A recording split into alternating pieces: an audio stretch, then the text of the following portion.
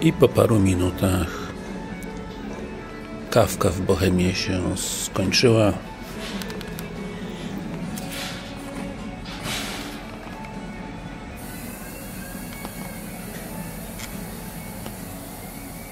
To są namiary.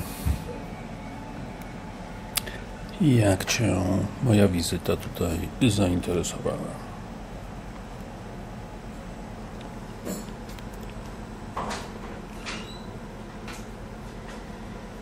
Oczywiście. Idą zdjęcia na Facebooka. Jaki to adres?